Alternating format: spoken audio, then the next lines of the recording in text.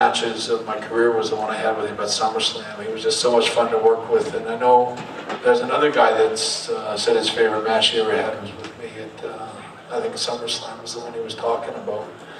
But uh, we always loved working with each other and always had respect for each other. He was great. All right, ladies and gentlemen, we have run out of time. I want you to give it up for Bret the Hitman Hart. Give it up for Mike Haxler. Give it up for Bret Hart again. 2.30, we're going to be running the, the special photo op with Bret. Uh, Bret will be back at his table after that. Give it up one more time.